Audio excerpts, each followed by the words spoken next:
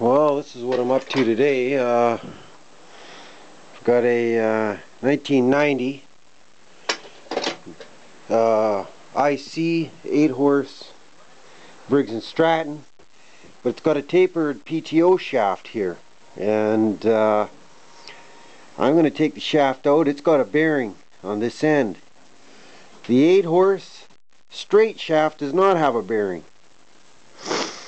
I'm going to swap the shafts. I'm going to put this shaft into this engine and I'm going to use that bearing, continue to use that bearing because I'm going to use the same plate which is uh, end plate which has got a seat for the bearing, bearing housing here. So I'm going to continue to use that. The reason why is I don't want this tapered shaft.